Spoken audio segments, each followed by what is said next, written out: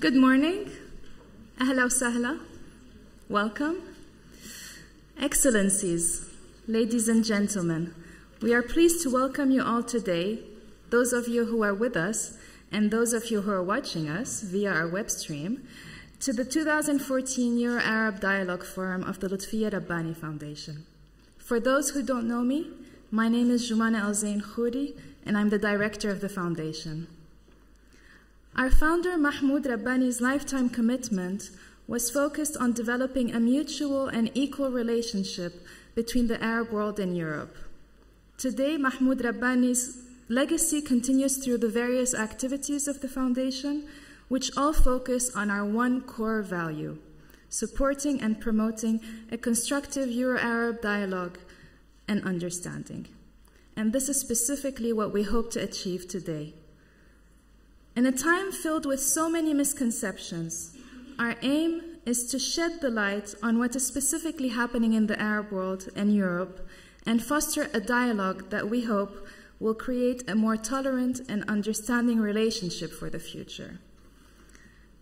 As a foundation that has its roots in both parts of the world, we think that tolerance and collaboration be between both Europe and the Arab world are key factors to a better future and we felt that organizing this conference today was not only topical, but essential. Essential in the need of decision makers from Europe and the Arab world to discuss their common future, as well as in the demand from the general public to understand the context in order to forge a future. And this feeling became an evidence when the speakers, the sponsors, the partners, and the public present today decided to follow us in this endeavor, and for this, we are really and sincerely grateful. Throughout the day, you will be able to listen, comment, and question different points of views from speakers coming from political, economic, social, cultural, and civil society backgrounds. Our hope is that by the end of the day, our understanding of the Arab world would have broadened and that the belief in the importance and essentiality of an open relationship between both regions of the world would have become an evidence. Let me end by addressing a few uh, practical issues. We have really, really tried to make this conference as interactive as possible by having it web streamed and offering the possibility for people physically present here, but also watching us over the net, to comment and ask questions to our speakers via Twitter. So please make sure that your phones are switched on, but on silent mode. And your comments and questions can be sent to hashtag 2014 EU Arab. Hashtag 2014 EU Arab. One last point. As a dialogue forum, we offer an open and free, platform for people to speak and exchange ideas. These ideas, however, may or may not reflect our own beliefs as a foundation. I'm truly, truly grateful that BBC's chief international correspondent, Lyse Doucet, is here with us to act as our master of ceremony. Her extensive knowledge, experience, and understanding of the Arab world and its people make her the perfect person to guide us throughout the day. We could not have hoped to be in better hands. So without further ado, please welcome Ms. Lyse Doucet.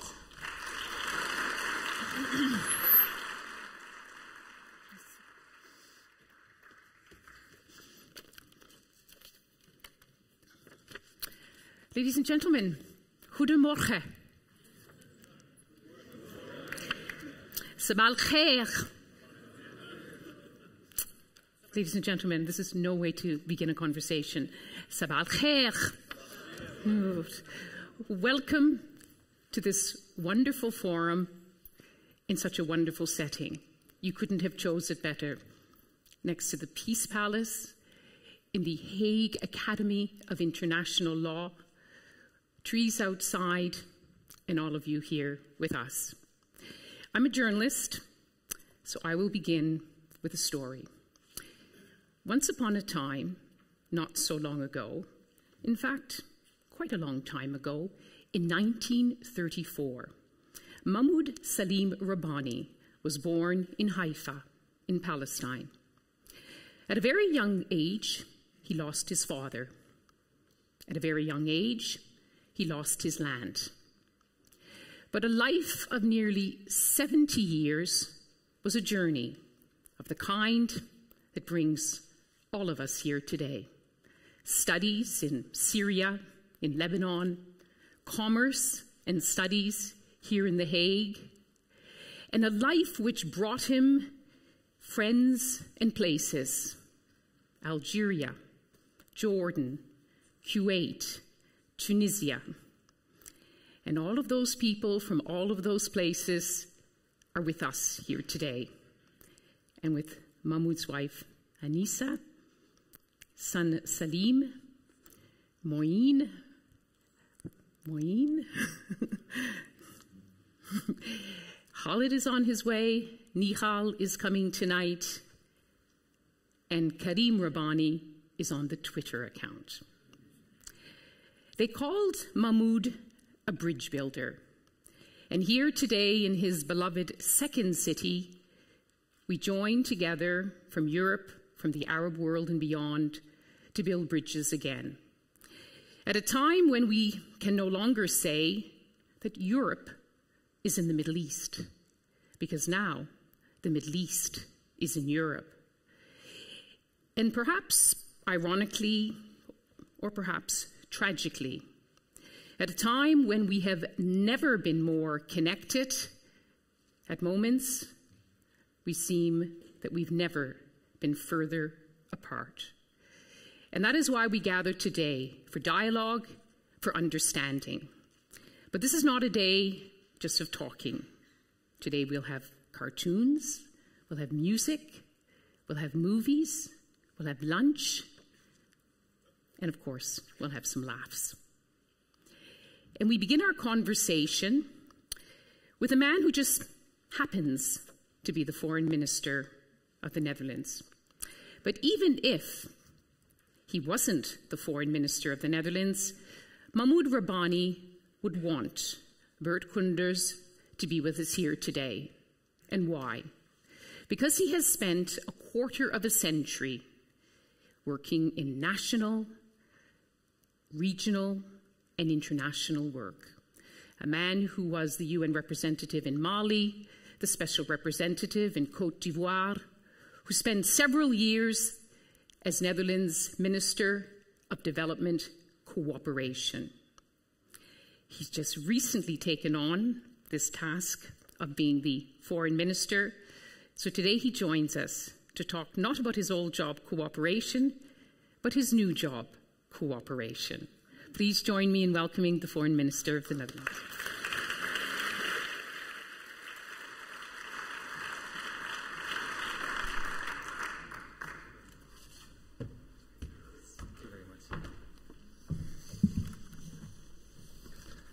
Thank you very much for this uh, kind uh, introduction uh, this morning, and thank you for being all here today in, uh, in the Netherlands on this very important event talking about the Arab future and the role of Europe.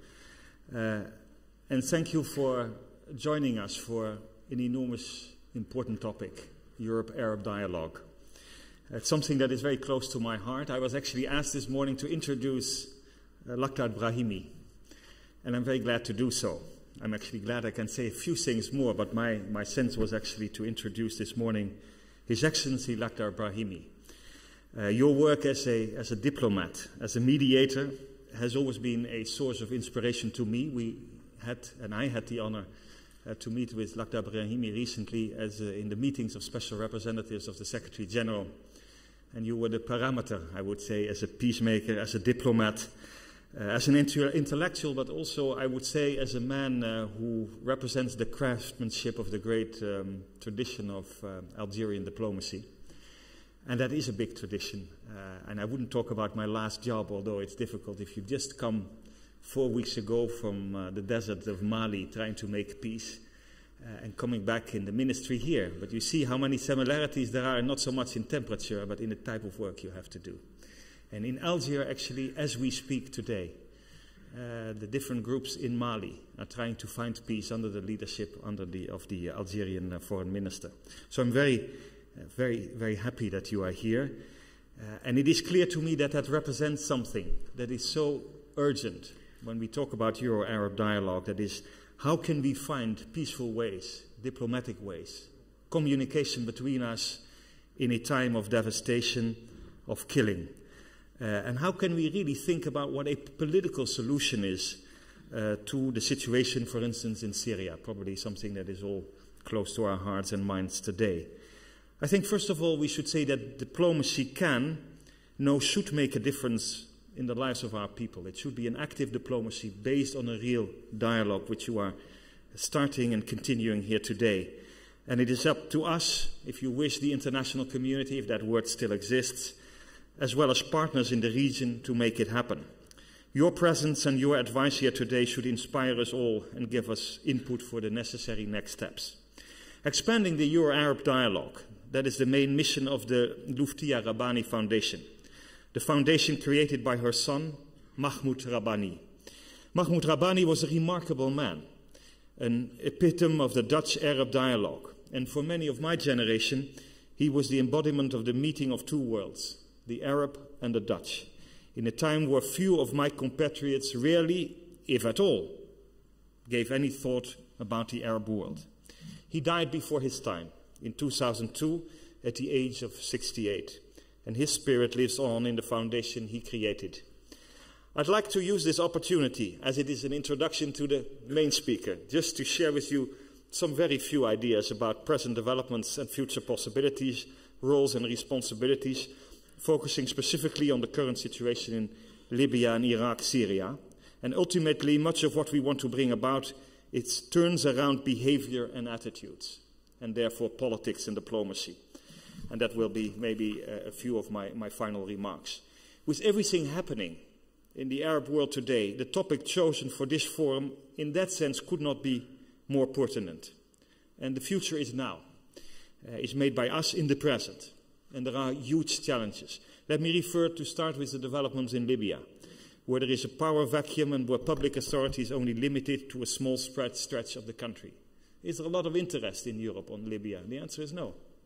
I went to my first uh, meeting of European uh, uh, foreign ministers, and I was happy that the new High Representative is, is putting that on the agenda. Uh, Libya is a very complicated case. We can't go into the details right now. But I have, if you wish, uh, looked at the immediate consequences for the problem I was working on in Mali. The unintended consequences of the intervention in Libya have created enormous problems for the whole Sahelo um, uh, Saharian countries, the belt just under this. We will have to put on the agenda, and we will, we, we will in the next uh, meeting that we have, Libya, and trying to find where there are catalyzing forces, also coming from Europe. First of all, in understanding what's happening, and secondly, to see if we can also support a UN special representative who's trying to find a dialogue between the two entities, if you wish, in Libya. And it's, Libya is so complicated because we have the north and the south, and even they are in a very complex way linked. But we have to focus on Libya, not only because of the fate of the Libyan people, but also of the intricacies and the, the, the close relationships with all the politics we're talking about in Europe today. Migration, Lampedusa, the enormous discussions that are actually taking place as we speak today between the foreign ministers and the ministers of interior in Italy to see how we confront the issue of all these people finding a grave in the Mediterranean. Second, allow me to mention Syria. I'll say something about it in the end. Uh, the devastating consequences, uh, not just for the Syrian people, but also for the wider region, notably Lebanon and, and Jordan. The staggering number of victims, uh, well over 200,000. The vast number of refugees and displaced people, which adds to the global refugee crisis that we are witnessing today. Uh, I will end today my, my speech with, with a poem, uh, maybe out of a certain sense of incapacity of solving this issue from Europe. But let me assure you that, in my view, we know that there is not a military solution to the Syrian problem. Military instruments can play a vital role against dev devastation and killing and in saving people. But I think we all realize that there's only a political solution to the problems in Syria and Iraq. I had the, the pleasure this morning to discuss this also with, with Mr. Brahimi, who, is, who has worked on this, who continues to work on this. For me, there is no taboo on this, in the sense that we will have to talk to the countries in the region, all of them. We will have to find in intelligence ways on talking about support for de Mistura, who is now the UN Special Representative. And we have to support him in finding, in the end, a political solution where all the communities can find a space in the future of their countries. It sounds very easy right now to say this. But sometimes we make it so complex that the passivity on, on, on going on the, on the diplomatic track uh, is, is staggering. And I think when this country, my own country, is involved in this, in Iraq, with F 16s, and I think they are necessary in view of, of, of the violence of ISIS. But we know this has to be part of a political strategy. And that is one of the priorities of, in any case, this new government uh, uh, in, in, uh, in, in Iraq. But that's not it. If it's inclusive, we have to support it in being inclusive. And for me, it's important to, to underline this, this important point. If you talk about dialogue, if you talk about politics, it's not about naivete. It's not excluding a military instrument, but it should be enfolded into a political strategy of really seriously working on peace. And it's a difficult one because the, there are many dilemmas involved every day.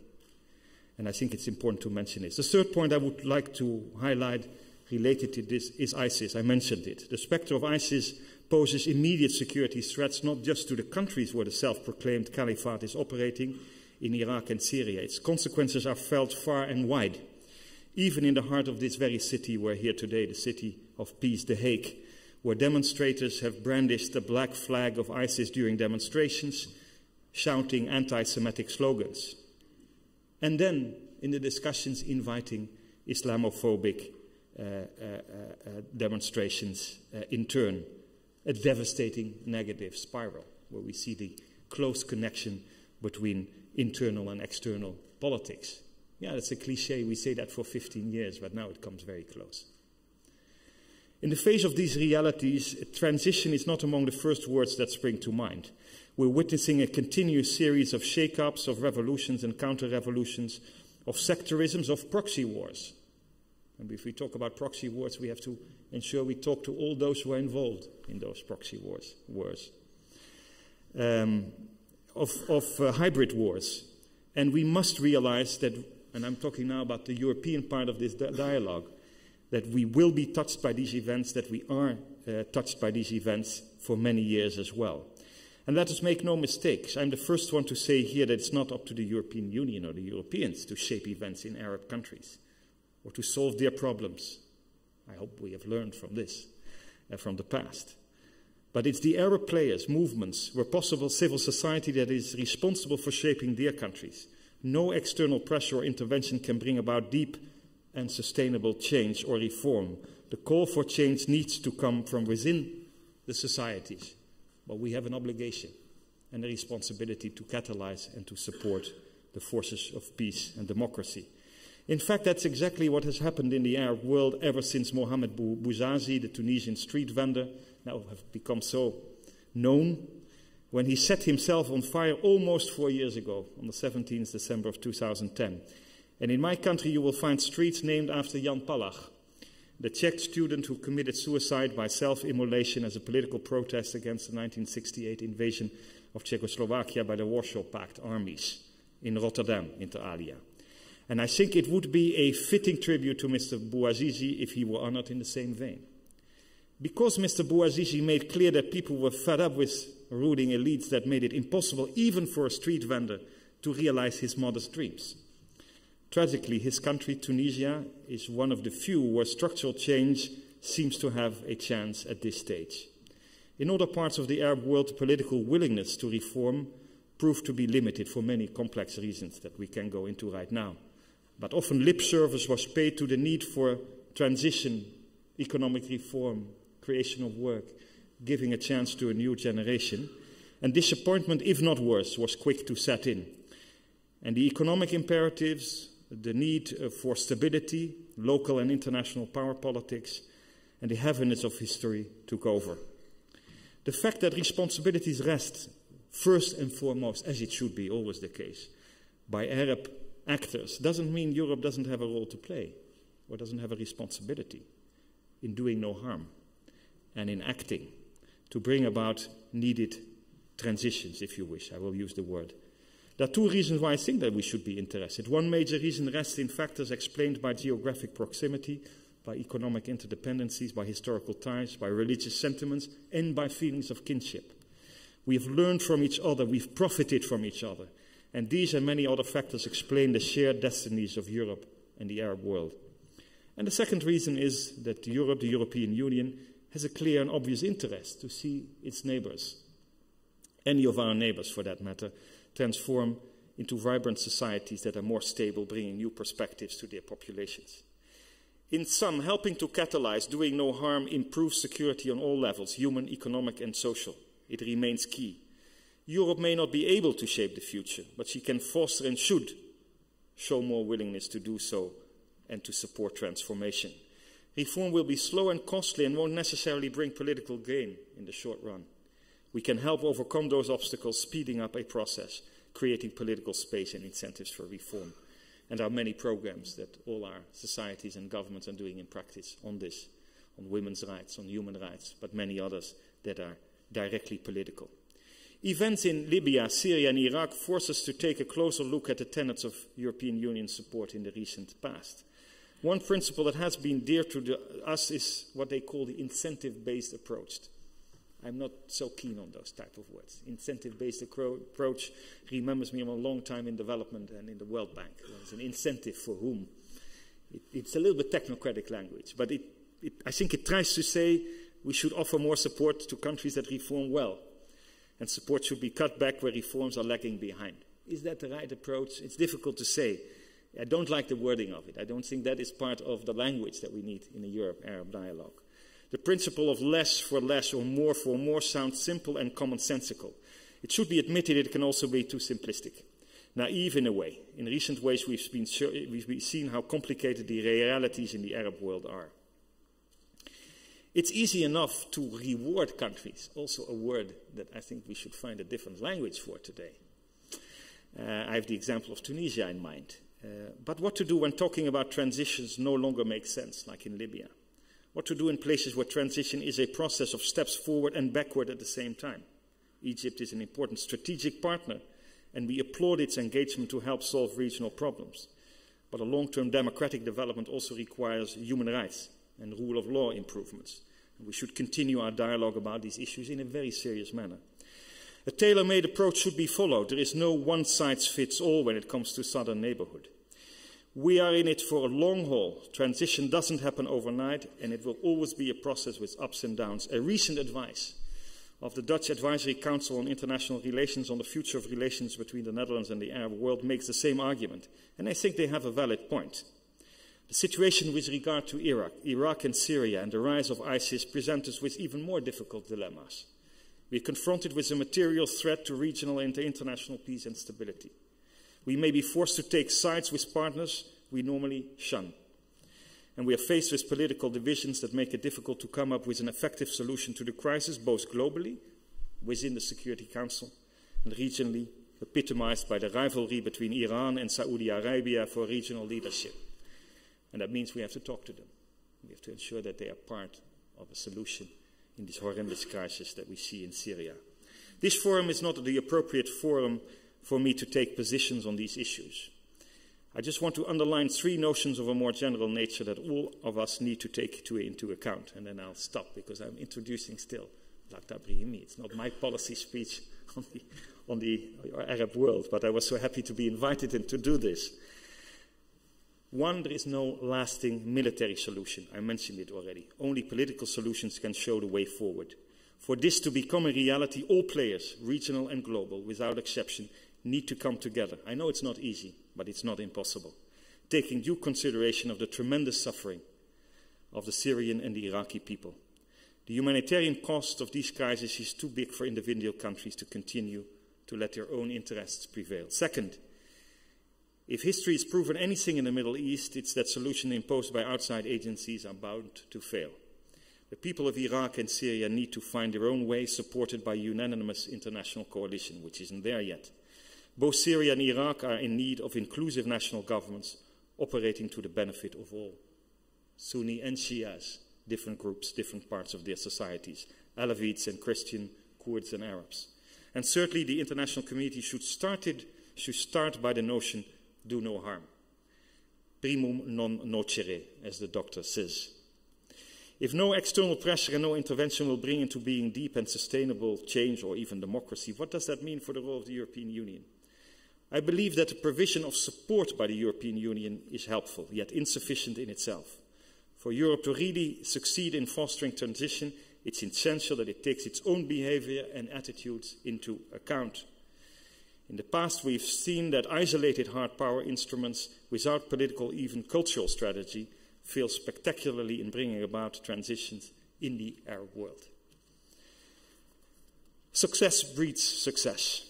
If other countries find little to admire in our society, if they feel that following the lead of countries like Russia or China brings greater gains, then we should not be surprised if, if transition fails. I'd like to conclude, and these are not final solutions, as they say, but I, I hope they can assist also in your dialogue. I'd like to conclude by sharing with you a part of a poem by Faraj Bayrakdar. It was published in the book Syria Speaks Art and Culture from the Frontline, a book both shocking and uplifting. Shocking in the way that it shows the appalling consequences of civil war, of war, of devastation. Uplifting in the way it shows that art can be also a healing force. The poem is called Tashrika Prayer for Homs. It describes the kind of city, the, kind of future of the Arab world that the, po the poet is praying for. And I quote I will go to Homs shortly. I will enter it safely, protected by its people and my faith in them. For almost 20 years, only absence, obsession, delusion. For 20 years, abandoned at its crossroads, the guards overwhelmed me with weapons I didn't see tore at me with weapons I didn't see. But I will come to the city, any way she accepts me. Won't even a few herbs, spices, buy me a welcome. I will come to the city even as a refugee. If the meaning of the refuge has changed, delete it from the old dictionary. But how could I create a dictionary of Homs when I have no imam whose prayers could remove my doubt?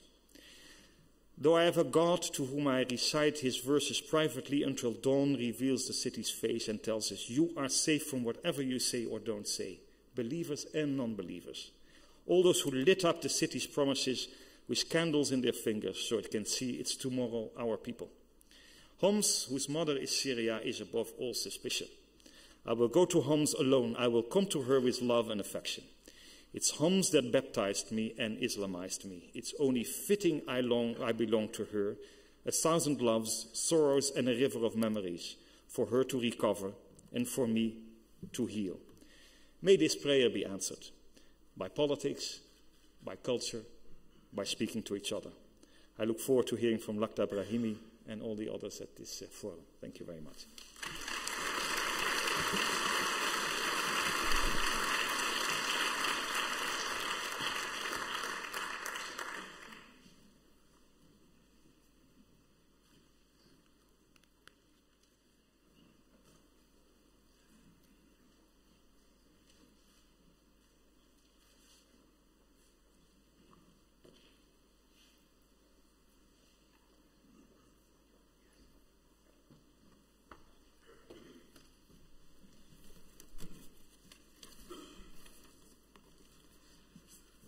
Morning.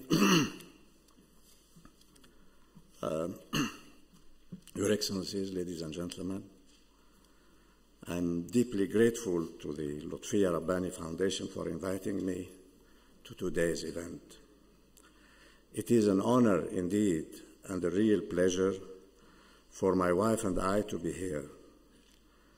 It is partly nostalgia because we were privileged to know the late Mahmoud Rabbani and his wife Anisa, and we attended a similar event in the early 80s when the uh, Lutfia Rabbani was in its very early years.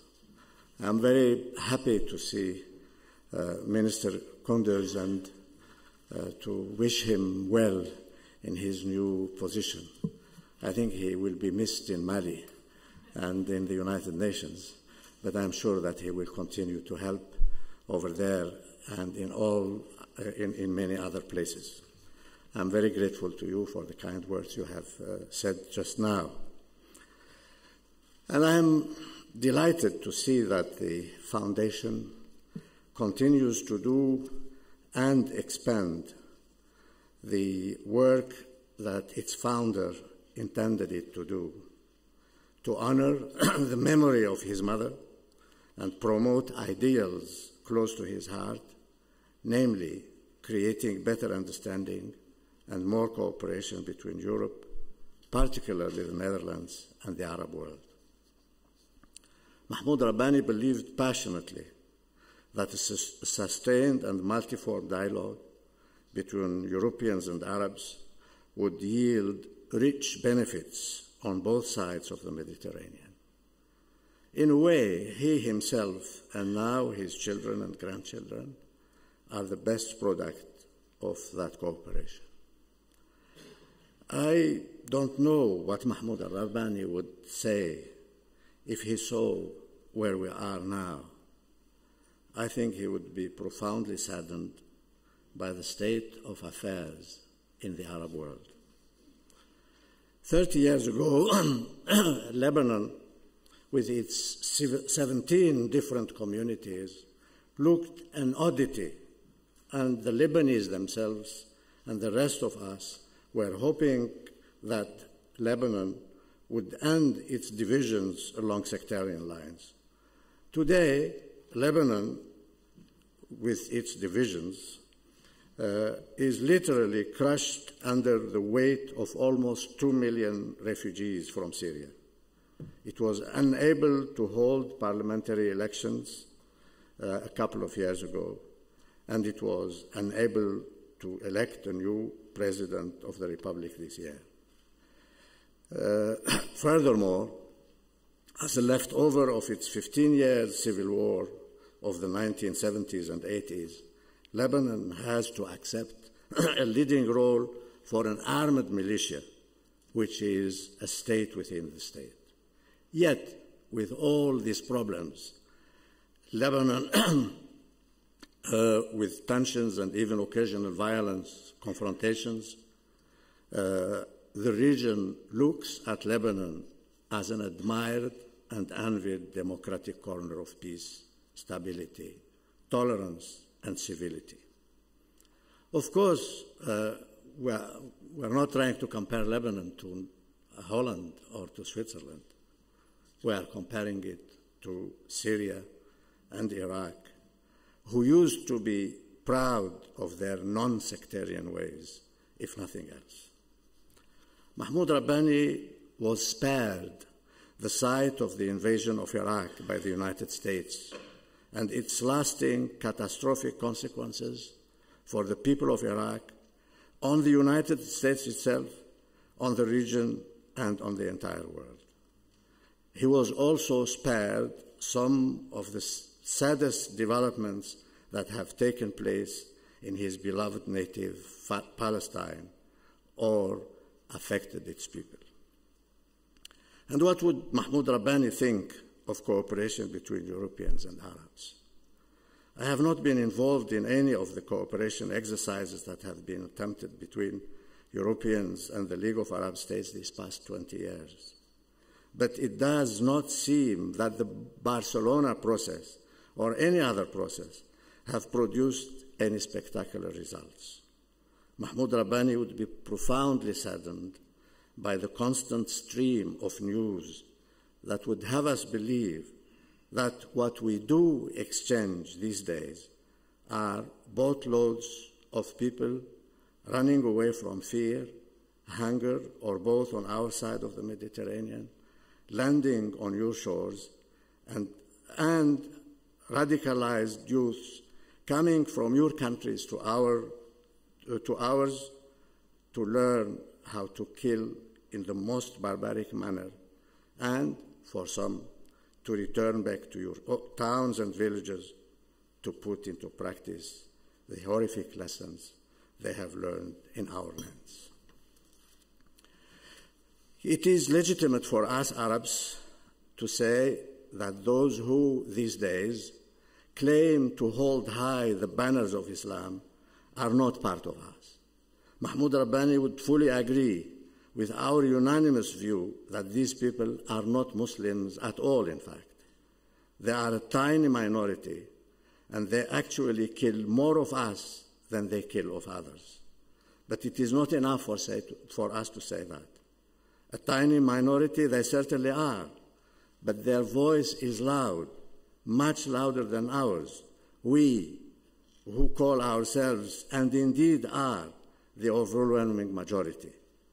We must do better to understand and explain why this minority behaves the way it does, and we should find effective ways of limiting than ending their harmful ways. These ugly realities cannot be ignored. There is much we Arabs need to do that we are not doing or not doing well enough. I suppose there are also things that together as Europeans and as individual countries, you must do or do better. At the same time, there is much that Europeans and Arabs can do and must do together. To deal with extremism in all its manifestations needs more, not less, cooperation between our governments and between our societies. And that cooperation, it bears repeating, begins with a serious effort to understand fully and objectively what is happening in our respective regions and address those problems separately when possible and together when necessary. In the early days of 2011, most people on both sides of the Mediterranean were overwhelmed with joy and optimism when they saw that an irresistible wind of change was at long last blowing all over the Arab world. Someone called it the Arab Spring, and the name has stuck.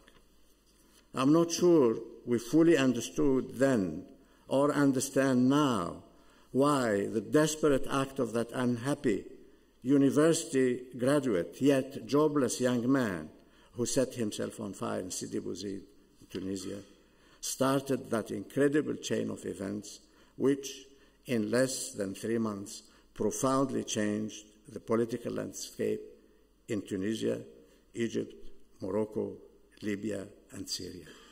Yemen had been struggling with its demons for quite a few years before that, but it was conveniently agreed that it too was part of the Arab Spring.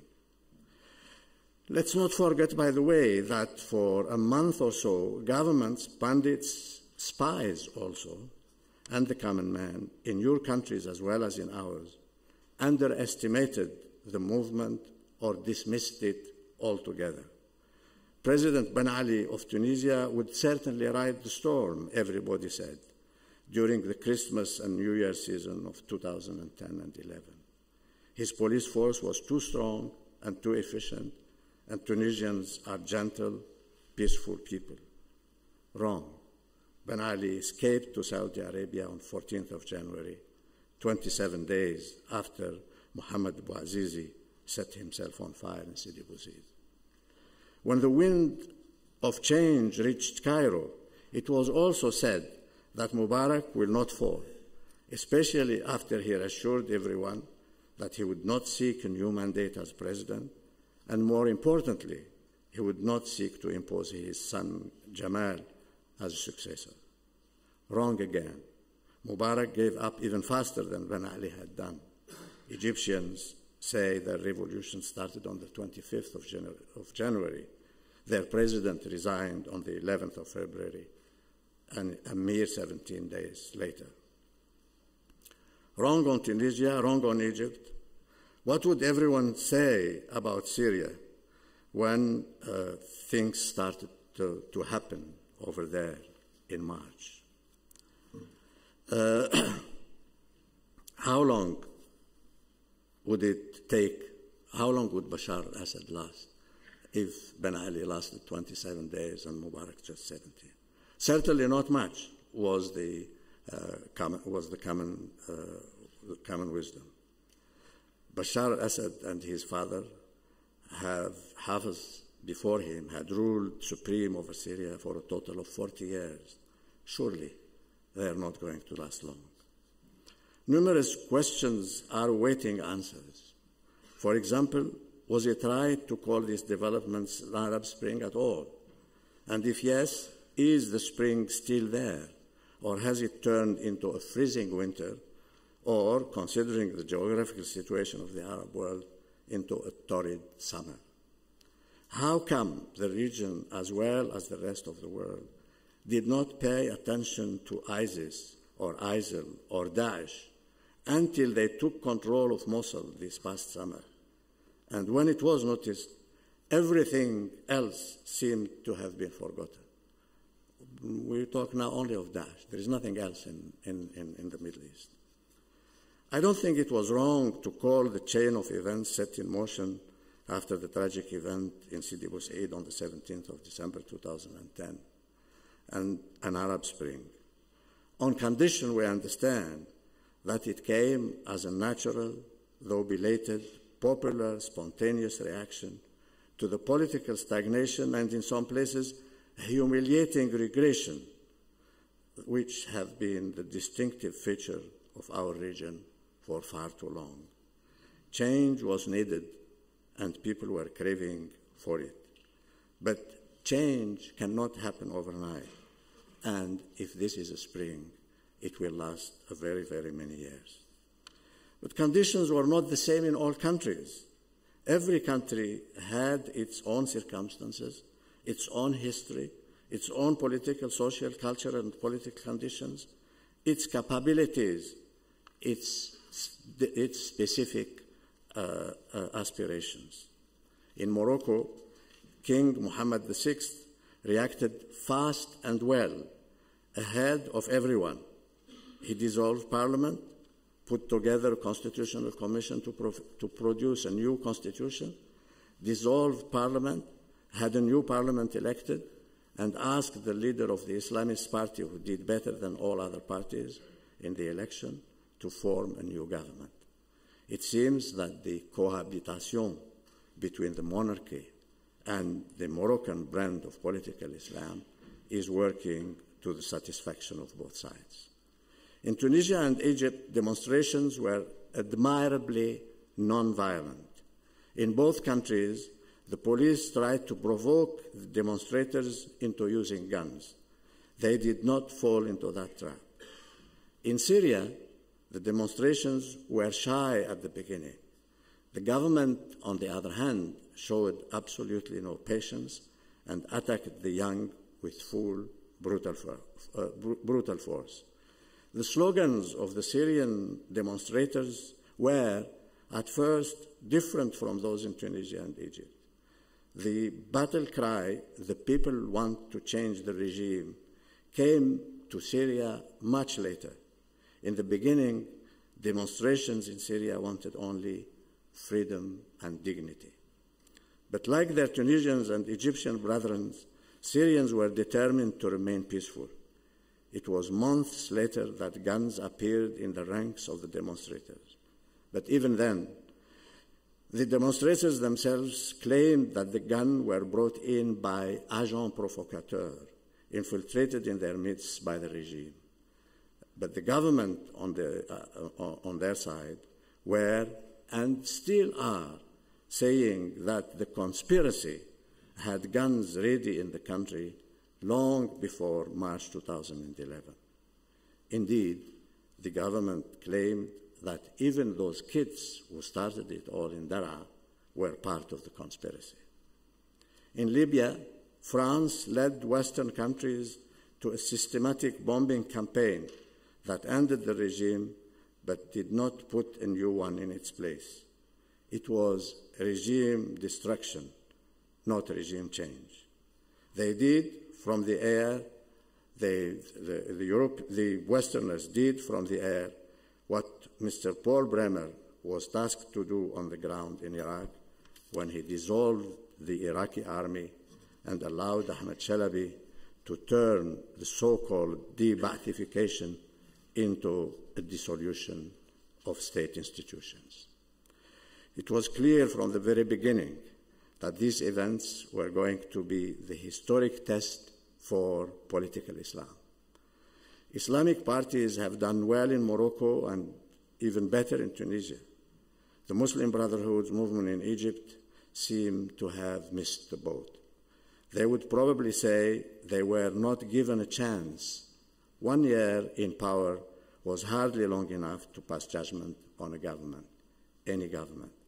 In Turkey, President Erdogan has shown that he is deeply committed to the Muslim Brotherhood movement. His support to the movement in Egypt has been and continues to be unwavering. For the moment, at least, the important experiment uh, is taking place in Tunisia about uh, uh, political Islam.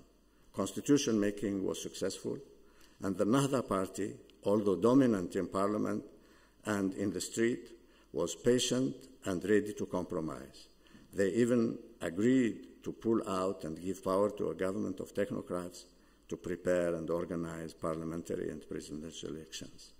They renewed and honored their commitment to not have a candidate for the presidency. They even abstained from officially supporting one of the 27 presidential candidates. And when they came a distant second in the parliamentary election, they immediately accepted the results. This is clearly a political party whose strategy is for the long haul, not for immediate gains. The Muslim Brotherhood in Egypt were not so patient, yet the future of political Islam will be determined in Egypt. There, the dissolved party of the Brotherhood, supported by Qatar and Turkey, maintains that the huge popular movement which brought out a total of 30 million people in the streets on the 30th of June, uh, uh, uh, practically every, and, and, and this demonstration which took place in every city and every village against their rule was a counter-revolution, a coup d'etat, and the restoration of the Mubarak regime. The Brotherhood has certainly lost a great deal of support. They will probably not disappear from the political scene in Egypt.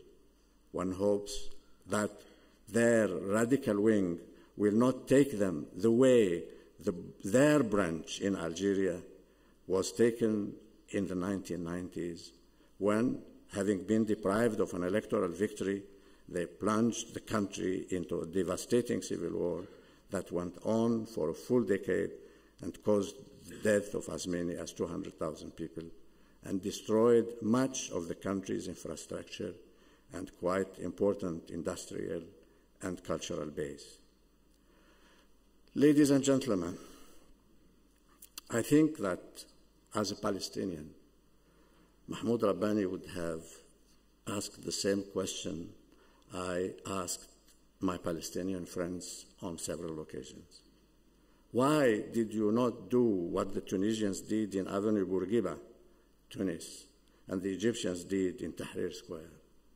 Go out and stay out and demand the end of occupation and say that you will not go home until satisfactory answer was given you.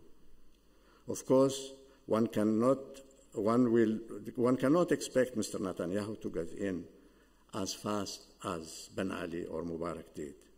And indeed, he would not have given it at all. The various answers that I got from my Palestinian, my Palestinian friends did not convince me.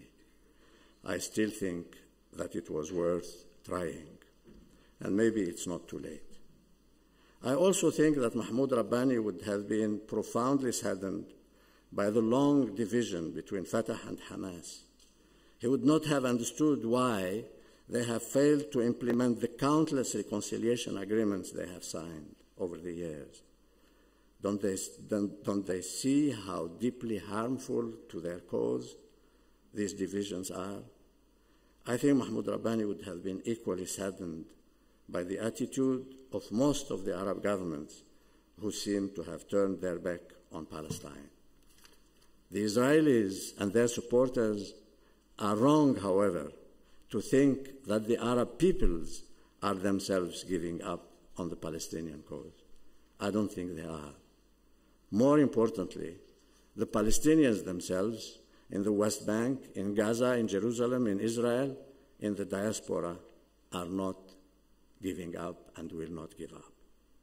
I think that Mahmoud Rabbani would have been greatly encouraged by developments in Europe on the Palestinian question. It is not an ins insignificant fact that one of the first political decisions of a new prime minister in Sweden was to recognize the Palestinian state, and the King of Sweden to send a message of congratulation to President Mahmoud Abbas on the occasion of the Palestinian National Day.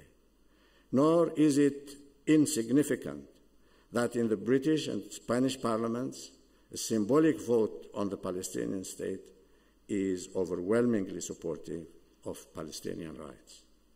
Equally encouraging is the BDS, uh, Boycott, Disinvestment and Sanctions movement, which is gaining more and more support all over, all, at all levels in Europe, in Africa, Asia, and the Americas, even among a growing number of U.S. citizens. The efforts of Secretary of State John Kerry were admirable, and we all should be grateful to him for his honest and dedicated commitment to a just peace. But I am sure he knows that the present Israeli government will not allow his efforts to bear fruit.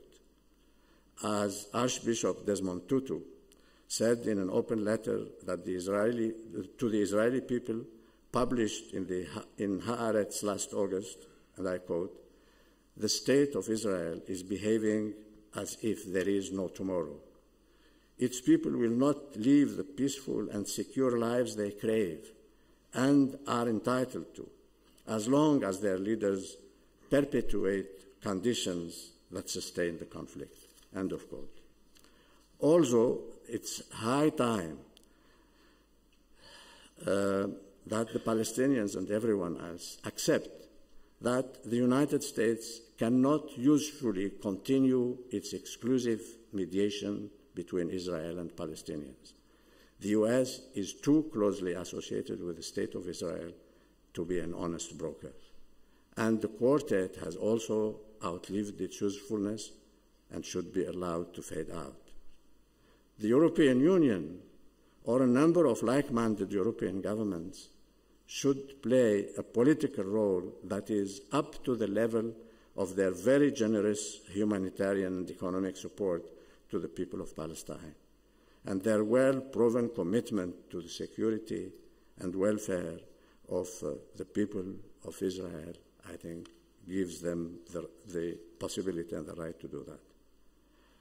Let me quote Archbishop Desmond Tutu again. No human made problems are intractable. When humans put their heads together with the earnest desire to overcome them, no peace is impossible when people are determined to achieve it. May the Lutfia Rabbani long continue to prosper to achieve the vision of Mahmoud Rabbani on both sides of the Mediterranean. Thank you very much indeed.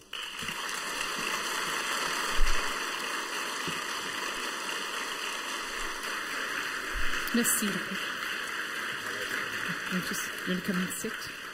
Come and sit. Just.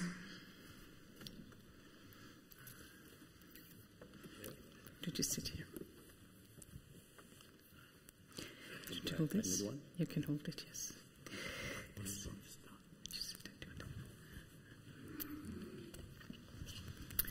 sofa is so nice, you know, we could just turn like this and forget that all of you are here. but we won't. Ladies and gentlemen, for those of you who know Lakhdar Brahimi, you know that he's not just a man of great wisdom and experience, he's a man with a, a very big heart. And so it's not surprise, surprising that this morning his comments to us were constantly punctuated with his recognition of profound sadness. A profound sadness, he reminded all of us that Mahmoud Rabbani would share profound sadness at what has happened in Iraq, in Palestine, the rise of Daesh. But a man who has spent a lifetime dedicated to trying to resolve crises and conflicts everywhere also never fails to leave us with some threads of wisdom and some constructive suggestions for how to move forward. And I think in our conversation that we're so privileged to have with Lakhdar Brahimi, we should perhaps focus on how to try to find a way forward. And this is what we're going to try to do today to talk about dialogue and understanding is how to have this cooperation from the ground up. But I'm going to begin perhaps with what comes from the top down, since we were also privileged to hear from the foreign minister who talked about finding a greater role for Europe. And Lakhdar, you mentioned how the Barcelona process has failed to live up to its promise, but that if it is to do so, there must be must begin with an effort for both sides to better understand each other. With your experience working in all these crises, you mentioned, of course, Israel Palestine one, the need for a greater role for Europe. But do you think there is space, real political space, for Europe to move into these places? It's not either dominated by the United States or dominated by the stubborn persistence of problems that even Europe cannot resolve? Um, yeah, probably Europe cannot resolve mm. the problems uh, overnight or even over the long time. But uh, uh, I'm absolutely certain uh, that the space exists. Whether the Europeans have the will to occupy that space is a different question. Uh, I also am absolutely convinced, as a matter of fact, I know, that many people in Washington uh, in the administration and outside of the administration would be extremely happy if Europe played a more important political role because they know that they cannot. There is a limit to what they can do. They cannot move, uh, you know, they can scratch their head in the Middle East without the permission of Israel. Uh, so they cannot be uh, uh an honest broker. With all the admiration, respect, and uh, we have for, for you know, the people and the government of the United States, this is a fact. Uh, you remember Aaron Miller, mm. who hmm. was the number two of, uh, uh, what's his name, Dennis Ross. Mm. I, I heard him myself once on television, but he, he, was, he never repeated it again. He said, Our mediation, frankly, consisted of going to the Israelis, asking them what they want, and then we go and try to get it for them. This is how, how they see their, their, their role. That cannot continue. And the quartet, uh, you know, no matter what we think whether it should have been created or not, it has been created, it has been there for a long time, it is useless now. And we should not pretend that we have a process when we have not. If we cannot have something else, so be it. But we cannot pretend that something is happening when nothing is happening. So this is uh, and the space is there. That is why I say uh, the European Union or like-minded countries. Uh, if, if all the countries uh, in Europe, as you know, they need to be unanimous to, to, to scratch their head also. Yeah? Uh, if, if they cannot do that, perhaps a number of countries can, can, can come together and you know, respond to what their people are telling them.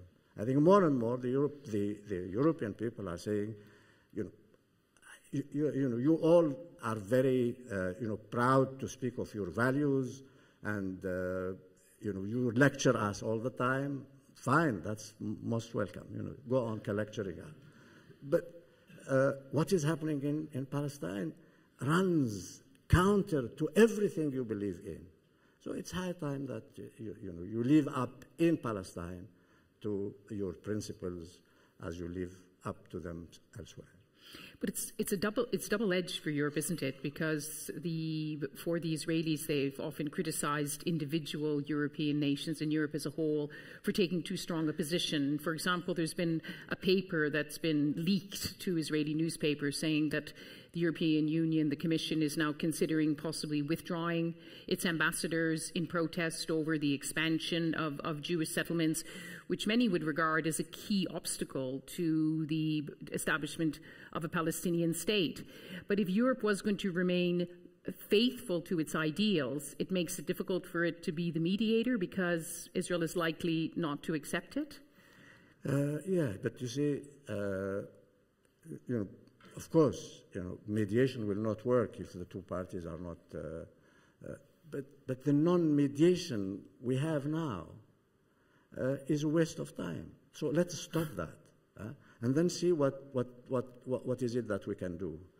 Uh, I think that you know the Israeli right wing have convinced the majority in their country that look we are all right. Nobody is asking anything from us. So why should we make any concessions? I think if, if uh, you know, people raise a little bit their voice, and if you Europeans just live up to, you know, to your, your own principles uh, and uh, values, uh, of course, the Israeli government will immediately say, you know, Europe is disqualifying itself, they cannot play a role. But I think a lot of Israeli people will start, you know, Uh, wondering whether their government is leading them in the right direction. Let me ask you one more question before I then open it up to the floor and look at other areas of, of the Middle East and, and put it to you that in many countries, and particularly after this so-called Arab Spring, many Arab states, Arab people and governments are saying, we're fine on our own. We'll, we don't need your help anymore you know, Arab solutions for Arab problems. So we saw that in Egypt when the Europeans, Cathy Ashton, tried to resolve the crisis with the Muslim Brotherhood, she was politely and sometimes not so politely told, it's none of your business. In Libya now, we see the Egyptians, the Emiratis becoming involved militarily as well as politically. And Bernardino, the EU envoy, uh, Jonathan Powell, the British envoy, they're uh, having a hard time with their role because Arab states with their own proxies inside are becoming more involved. Is this also a time when Arab states want to resolve things on their own for better or worse? Um, uh, you know, yeah, yeah you have spoken about too many things mm. at the same time. Yeah. Um, Libya, uh, you know, we cannot forget that the, the, the, the French and the British and a few others have destroyed Libya. Uh, while they said at the United Nations that they were not going for, for uh, regime change. Nobody is uh, you know, shedding many tears about uh, Muammar Gaddafi and his regime. I think it's good that, that they are gone. But the way it was done has created lots of problems. They have destroyed the country and they haven't they, uh, I'm not sure whether they knew what they were doing, you know, because you know, they have destroyed the country, and the people they were counting on uh, have not been able to, to, to build anything uh, uh you know, credible and lasting. Uh, so you cannot, you cannot. Uh, I think that you know the Europeans, the French and the British and the others, uh, made a very big mistake when uh, President Zuma and four other presidents were going to Libya to talk to Muammar Gaddafi and the opposition in Benghazi and asked the French to, to postpone a meeting they had on Libya 24 hours uh, to allow them to go and talk and then join them in Paris uh, and tell them what they have seen and heard. I think that if they had supported the African uh, attempt to work out solution, maybe it would have been much better for Libya, much better for the region, and much better for Europe. I have been saying for a long time that Algeria and Egypt had a responsibility to help the Libyans out of their trouble. They are neighbors, they know the country extremely well, they know the people very well. It happens that we in Algeria have a debt the Libyans helped us a great deal during our fight for independence. Uh, the, the, the, Algerians and the, and, uh, and the Egyptians are now talking to one another. I hope that they will continue to talk to one another and, and help uh, Libya. I think they can do that much better than the Europeans. Uh, for the moment, the kind of help that is going there, uh, you know, there's question mark uh, Turkey and Qatar are, are, are, supporting the Islamists. uh, Egypt and the UAE are supporting the non-Islamists, that's not the way to do it. I think, uh, you know, I think if Algeria and, and, Egypt could get together and put some kind of, uh, of process uh, together with the Libyans, with the Europeans, uh, and, and of course the Africans, uh, it will be much better for the Libyans and for everybody else. So, a time when Europe has to be more cognizant of what the efforts on the ground themselves and among the neighbours to resolve this on their own. Yeah, you know, they have got to recognize that they, first of all, they made a mess. They contributed to the mess that exists, and that they cannot solve their mess alone. Uh, uh, yeah, you know, maybe they'll make things worse. Now, if we have any experts on how to solve messes in the audience, would anyone like to ask a question of Dr. Brahimi? We have microphones. So this gentleman here and then the woman behind. Hi, my name is Fuad Hamdan. I'm a political consultant and I'm head up the head of a foundation called the Rule of Law Foundation in Amsterdam. My question is about uh, Iran and its role in Syria, Iraq. How would you assess the role of Iran in Syria and Iraq now, and how would you link that with the current or with the postponed nuclear negotiations? Do you think that a political solution is possible with Iran in Syria? And do you think they will ever give up the dream of having a nuclear bomb? you know, I don't know. uh, uh, you know, but there again, let's let us let us first remind ourselves of of uh, very well-known facts. Uh, the Americans invaded Iraq, and uh, you know, uh, I think the Iranians were very grateful to them that they eliminated their worst enemy, was Saddam Hussein. But the Americans told the Iranians, no, we, we are going to do better for you. We are going to give you Iran, uh, Iraq. So you know, I don't know whether the Iranians said thank you very much or not, but you know, they have taken Iraq. Uh, they have more influence in Iraq than the Americans do, much, much more. And they have more influence in Syria than the Russians have. These are facts.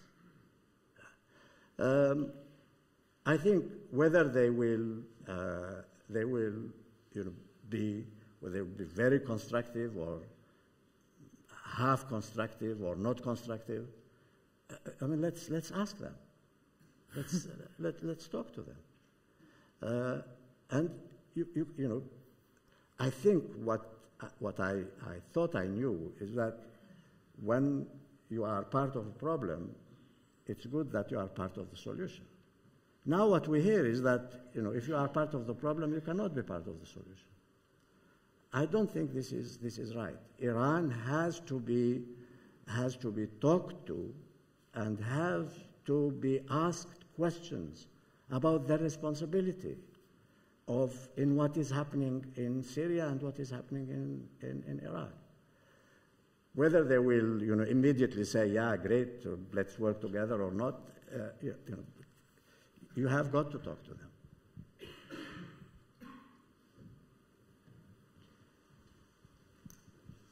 Hello, my name is Sandra Sahuni. I'm a lawyer at the uh, Special Tribunal for Lebanon. Mr. Brahimi, I remember seeing you on television when I was a little girl, uh, and uh, the grown-ups in Lebanon. Still around, yeah. and the grown-ups around me saying, this is the man who might end the war in Lebanon. so it's an honor for me to be here today and to be able to ask you a question. I would like to uh, hear your views uh, as a peace broker, a, a negotiator, or a facilitator. When international organizations like the United Nations or intergovernmental organizations like the EU and NATO sponsor uh, or facilitate peace agreements uh, or national reconciliation agreements, what do you think should be the role subsequently to ensure that all the tenets of such an agreement are actually implemented? And how do you uh, ensure that such follow-up efforts um, are not in violation of national sovereignty? Thank you. Yeah. You know, I belong to a generation uh, and, you know, background, my personal background is that I'm a great believer in uh, national sovereignty. Uh, and big countries really, of course, believe very strongly in their national sovereignty, but perhaps not so much in the sovereignty of others. uh, but I think that, you know, the United Nations, uh, NATO is different. NATO is a, is a military alliance. Uh, so I will not talk about NATO. But uh, I think that uh, if, you, if you mediate uh, in conflict and you get an agreement between the parties, I think the implementation has to continue with the parties. But I, I have written an article together with uh, a young man. He's not a young man anymore. He's in the White House now, called uh, Salman Ahmed, uh, called The Seven Deadly Sins of Mediation, where uh, the, main, the main message was that uh, you know, political work does not stop with the signing of the agreement. When you have signed an agreement, then you've got to make sure that you continue to support the implementation. It is as important or even more important than, than the actual uh, agreement. Uh, what to do? Uh, yeah, you know, mm, the UN doesn't like to use force, and they are right. Uh, but certainly when there are spoilers that can be clearly identified, uh, I think the, even the UN can, can, use, can use force against them. But I think uh, you know, mediation is a political process. It's, it's complicated. It needs patience. Uh, it needs commitment, and it, and it needs support. Uh, Lyse knows very well Afghanistan, uh, even better than I do. Uh, in, in 99, I, I resigned. I, I was you know, trying to help in Afghanistan and resigned and told the Security Council, I'm resigning because you are not supporting me. Uh, if I'm sent by the Security Council and the Security Council is not interested, I cannot do uh, much. Uh, so, you know, that political commitment from the countries, the countries that have clout and influence, is indispensable. You know, if Iran and Pakistan are not supporting you when you are trying to do something in Afghanistan, you know, you are going to be in trouble uh, sooner rather than later. Uh, the same thing in, in, uh, in, in Syria and, and Iraq. Uh, when they, the countries of the region are so divided, and indeed, even the Europeans and the Americans are divided, you cannot go, go very far. If you speak in one voice, it, uh, uh, if all these people speak in one voice, it's different.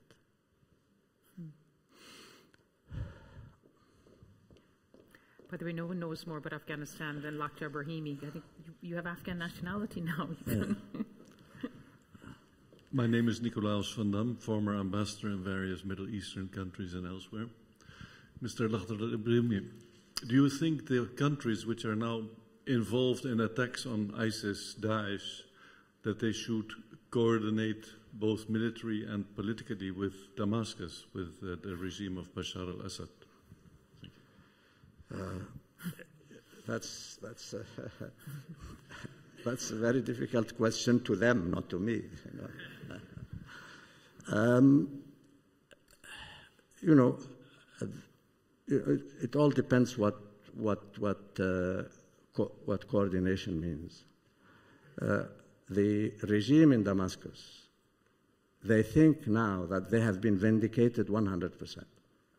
We have been saying that there is nothing except a conspiracy and terrorism. Now, at long last, you all say the same thing. So you, you, you are joining us. And uh, if you want to talk to us, it will be on our terms. This is definitely not, uh, not the manner in which it should be done. I think the government has got to understand that they are, uh, you know, they bear a huge responsibility in what is happening in their country. Daesh did not exist uh, uh, before. It has been the result of this crisis that has, uh, you know, come about because the government did not, uh, you know, they didn't do what the Moroccan uh, king has done. They, they didn't respond to uh, the, the demands, the aspirations of their people.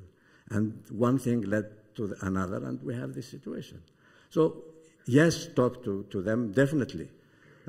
You know, the, the, the, attitude which was saying that you are not going to talk politics until the regime falls. That has never been the position of the United Nations.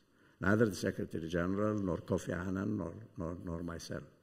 Uh, we, the, the, we, are, we were, and I think the UN still is in favor of a negotiated settlement between the government of Bashar al-Assad and, and his people. Uh, uh, so talk to them, yes. Coordinate with them, yes. But uh, not on, uh, on the uh, conditions uh, of, of the, the regime and Bashar al-Assad. There's two questions in the back. Oh, yes, two. Maybe we'll take the two of them. Hello, um, my name is Sharaf DarZaid. I'm a dancer and choreographer from Palestine, and I do live there. Um, in such a conferences, I always ask, uh, what can we do as Europeans, not just as Palestinians? Uh, my question is, what can we do as Europeans? Yes, not and? just as not just as Palestinians. My question is, what about boycotting? Do what about boycotting? Do you think BDS? Do you think BDS movement could be a solution? As what happened in South Africa against the apartheid? Sure. Thank you. Uh, definitely. Uh, you know, Desmond Tutu is, is a friend of, you know, we are together in the elders. Uh, and, uh, you know, he has been reminding us of the fact that uh, in South Africa, a lot of people were claiming, you know, Mr. Thatcher in particular, were claiming that they will not boycott South Africa because it will harm the, uh, the South African people, the blacks, the poor, more than anybody else.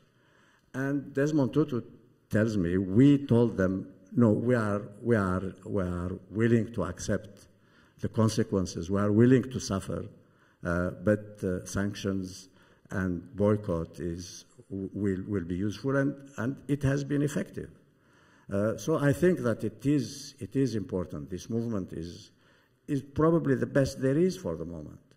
And uh, I hope it will, it will you know, swell up and, and, and, and get the support of more and more people. Lady here. I'm going to have to close the list soon. Uh, we have a long coffee break. I might just take, if, if, with Lakhdar's permission, take a little bit of time off the coffee break. Um, yes, this lady here. Okay, hello. Um, thank you very much, Mr. Rahimi. Uh, my name is Mariam. I'm, I'm, a master's student at the Institute of Social Studies in The Hague. And the, my question is more general. Since um, the discourse of the war on terror led by the US, um, we've seen a securitization of development generally, where um, development and um, international cooperation is shaped by the countries or the northern world's um, own security towards the incoming threat from the south. And, and my question is, how do you think this impacts on um, on peace processes in general? Um, yeah, thank you. Um, yes, uh, you know, I think the, the the the, even the expression war on terror is a misnomer. Uh, you know, you don't fight terror. Maybe you find terrorists you know, rather than terror. Uh, and also, uh, I mean, if you want really to look at this uh, seriously, the, what is what is the definition of terror, terror, terrorism, and terrorists? Mandela was called a terrorist. I was called a terrorist. A lot of people, I think, sitting here have been called terrorists. Uh, so, uh, uh, you know, let's let's make sure uh, what we are talking about and what kind of war we are we are participating uh, we are participating in. Second thing is, uh, I believe very very passionately and strongly that. Especially if you are talking about making peace, about mediating, you've got to talk to everybody. I think one of the big mistakes we made in, in Afghanistan is the boycott of the Taliban. We should have talked to the Taliban more uh, than, than, than we have done. It is not normal that I am the only one from the United Nations and from the so called international community who ever met Muhammad Omar. Uh, that's, that's not normal.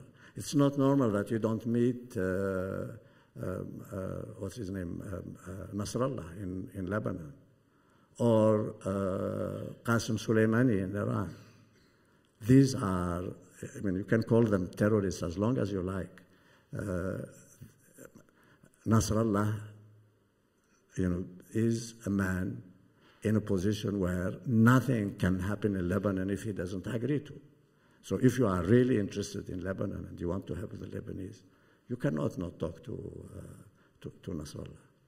Uh, Qasem Soleimani is the most important man in Iraq and Syria these days. Uh, how come there again? I am probably the only one that uh, talked to both of them.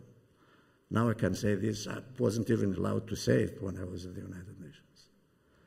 Uh, so, uh, you know, war on terror, war on terrorists, uh, you know, uh, is, is, is, can be fully justified. Uh, but, uh, you know, politics require dialogue, and dialogue must not exclude anyone. Even Al Qaeda linked groups and uh, Daesh? Uh, you know, ultimately, yes, sure. I, don't think you need to talk to them now, and I'm not. I don't think they will want to talk mm-hmm. to you, so the problem doesn't arise. Uh, but uh, you know, if if they are around uh, for a long time, they will probably, you know, if they want to really, if they're really thinking of playing a role and uh, a political role in their country, they will have to evolve. When they do, I think uh, yes, you, you need to talk to everybody. And then, you know, you must have people like me who talk to everybody. So you don't need to, to do it yourself. mm. We can do it together. Um,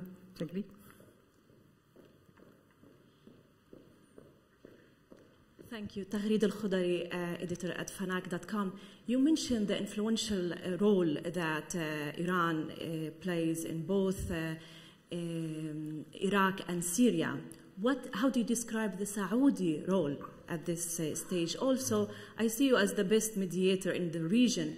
Which body, given the fact that you mentioned the weakness of the United Nations, the absence uh, of uh, you know the role uh, of the EU and of course uh, the US, which body you are willing to work with to you know to continue such role you've been active at? I've retired. You haven't heard, probably. Tagreed was a journalist in Gaza for many years. Tagreed was a journalist in Gaza. So, yeah. Um, yeah, you, I think the United Nations is really the, uh, uh, you know, the organization that has the credibility and can generate the support uh, to to run a, a political uh, a political uh, uh, political mediation. And they are doing so. Uh, you know, as I said, you know, when I resigned, uh, that you know, the UN cannot turn its back on, on Syria. It cannot turn its back on, on, on Iraq. Uh, but you know, the UN has no money, no weapons, no clout. It has to borrow all that from its members. If its members are not willing to, to, to, to support it, then, then it will not be able to do uh, much. But definitely the UN is, is the, the body that should, should lead uh, any, any kind of serious uh, negotiation and mediation. I have two. The Saudi. Uh, uh, you know, the Saudis, I think they are strongly supporting uh, the opposition in uh, they, they, they, are giving money and, and weapons. I don't think it is a secret there. They belong to this uh, so-called London 11 about Syria and the new coalition against, uh, against uh, Daesh. Uh, they are a very, very important country in the region. Uh, and I think uh, a, a, a, stronger, not a weaker, role from them is, is desirable. There's two more questions on the list, and sadly, we're going to have to close. This gentleman here and this gentleman with the orange shirt. Yes, thank you for being here, Mr. Brahimi. Uh, my name is Islam Qasim, Webster University. My question is, uh, what do you think is the most likely end solution in Syria? Hmm. you mean political or military?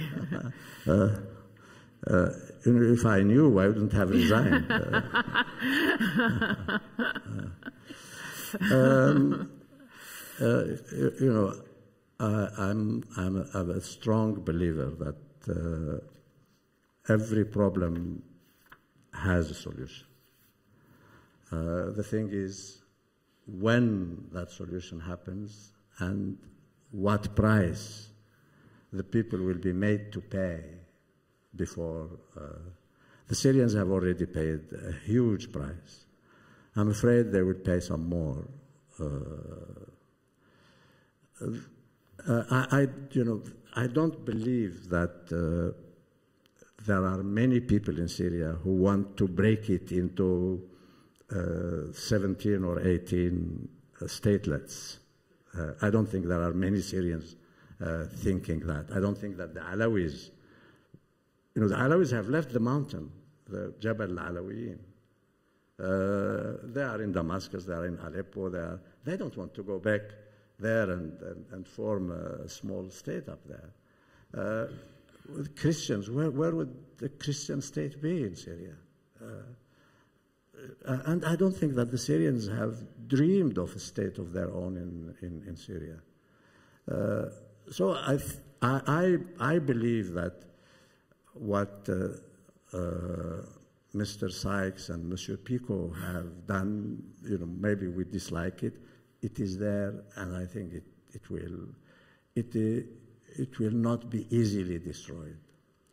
Iraq also, I'm, I'm, not, I'm not convinced that the Sunni, the Arab Sunnis, the Arab Shia want to break up and have, have a different state. They, they, they, I think they want to live together under different conditions.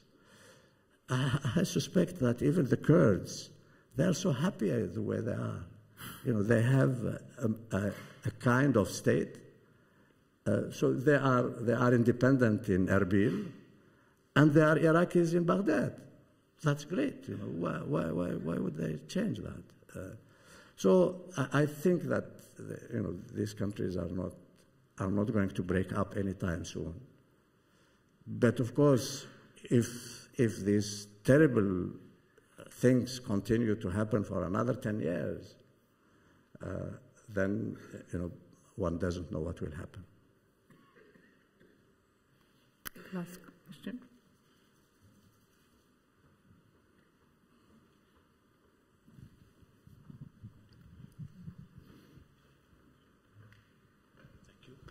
Uh, thank you. Good morning. My name is Diel van der Linde. I work in arts and culture in the region, in the Middle East and North Africa. Thank you, Mr. Brahimi, for sharing your insights, your wonderful insights.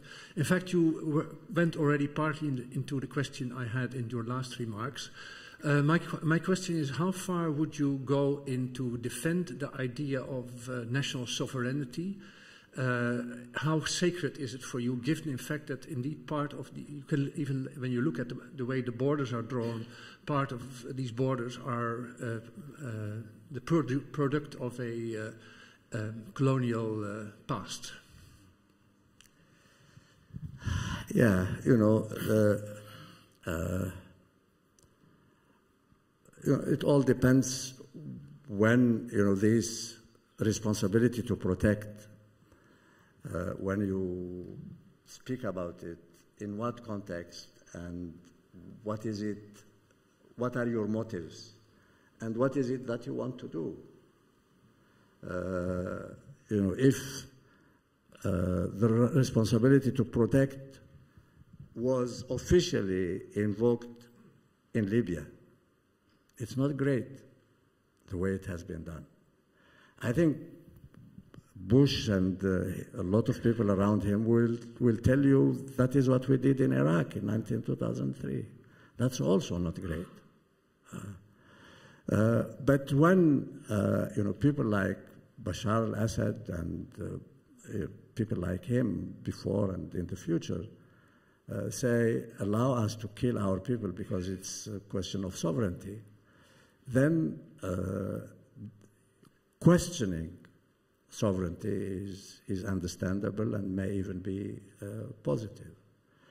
Uh, you know, I, I, was very, very much against uh, humanitarian intervention, very much. Uh, even the responsibility to protect, I would have preferred, I mean, it's a beautiful expression. I think the, the right to be protected is better than responsibility to protect. Mm. Uh, I, as, as a weak individual, community, group, or nation, need help. So I have a, I have, uh, you know, I have a right to be, uh, to be defended and protected. When you say uh, responsibility to protect, whose responsibility? And who is going to give that responsibility? It is the Security Council not always. If it's the Security Council, I have no problem. Uh, but when people say we are exercising the uh, responsibility to protect, I'm, I'm a little bit, uh, I'm a little bit nervous. British understatement.